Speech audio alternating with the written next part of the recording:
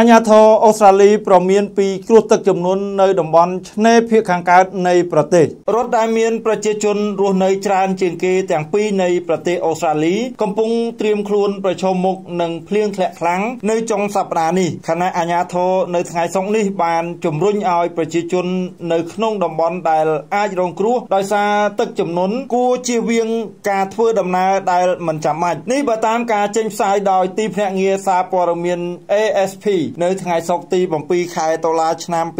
2022បើយោងតាមអាជ្ញាធរអូតូនិយមអូស្ត្រាលីភ្លៀងធ្លាក់ខ្លាំងអាចនឹងកើតមាននៅរដ្ឋ New South Wales ស្ថិតនៅភាគខាងកើតនៃរដ្ឋ Victoria ស្ថិតនៅភាគខាងជើងនៃប្រទេសដោយអាចនឹងធ្វើឲ្យកម្ពស់ទឹកភ្លៀងនៅតាមតំបន់ខ្លះឡើងដល់100មីលីម៉ែត្រដែលស្មើនឹង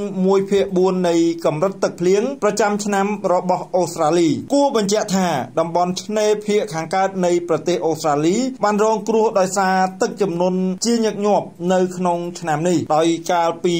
ខែមីនាកន្លងទៅចំនួនទឹកបានបង្ខំឲ្យអាជ្ញាធរជំនះប្រជាជនរាប់ម៉ឺននាក់ចាក់ចេញពីផ្ទះសម្បែងទៅកន្លែងមានសុវត្ថិភាពនិងបានផ្ដាច់ជីវិតមនុស្សយ៉ាងហោចណាស់13នាក់ប្រូ វីដាទឹកស្ព្រីងធម្មជាតិមានសារធាតុរ៉ែពីធម្មជាតិជំនួយដល់សុខភាពនិងត្រូវបានទទួលស្គាល់ស្តង់ដារអន្តរជាតិ ISO 9001:2015 ISO 22000:2018 HACCP និង GMP ប្រូវីដាទឹកស្ព្រីងសុខភាព